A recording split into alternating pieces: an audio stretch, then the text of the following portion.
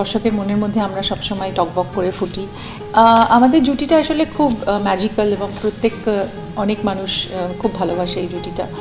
নব্বই দশক থেকে টালিউডের সব থেকে জনপ্রিয় জুটি প্রসেনজিৎ চট্টোপাধ্যায় ও ঋতুপর্ণা সেনগুপ্ত। এখনও তাদের একসাথে দেখার অপেক্ষায় থাকেন অসংখ্য ভক্ত। এবার পর্দায় হাফ সেঞ্চুরি করতে যাচ্ছেন এই জুটি। বাংলা চলচ্চিত্রের অন্যতম যোগ্য জুটি হাজির হচ্ছেন অযোগ্য নিয়ে।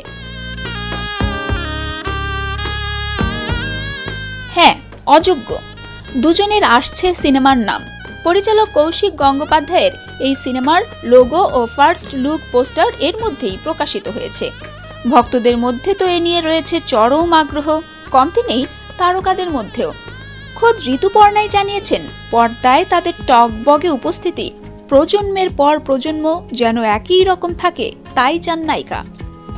আমাদের জুটিটা আসলে খুব ম্যাজিক্যাল এবং প্রত্যেক অনেক মানুষ খুব ভালোবাসে এই জুটিটা তো ফলে দর্শকের মনের মধ্যে আমরা সবসময় টকবক করে ফুটি এবং আমি চাই যে দর্শকের মনের মধ্যে এরমভাবেই যেন জেনারেশনস আফটার জেনারেশনস এই জুটি থেকে যায়।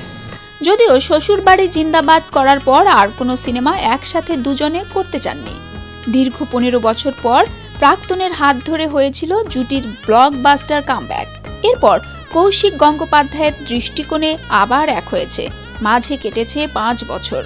দুই হাজার চব্বিশে পর্দায় আবার ফিরবে এই জুটি। জানা গেছে, সিনেমার বেশিরভাগ অংশের শুটিং শেষ হয়ে গেছে। ফার্স্ট লুকে দেখা গেল পুরীর সমুদ্রের সামনে দাঁড়িয়ে প্রসেনজিৎ ঋতুপর্ণা।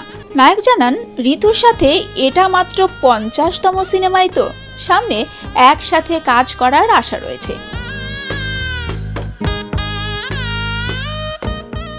উত্তম সুচিত্রার পর অনেকের কাছেই বাংলা সিনেমার মহানায়ক, মহানায়িকা প্রসেনজিৎ ঋতুপর্ণা। ভক্তদের ভালোবাসার এই খেতাব বরাবর মাথায় তুলে রাখেন ঋতুপর্ণা। এই খেতাবটা পাওয়ার জন্য একটা বড় যুদ্ধ এবং পরিশ্রমের মধ্যে দিয়ে যেতে হয়, যেটুকু আমি বুঝি। কারণ এমনি এমনি তো কোনো খেতাব আসে না। অনেক পরিশ্রমের পরে হয়তো কোনো খেতাব আসে। তবে আমি জানি না এই খেতাবের আমি যোগ্য কিনা।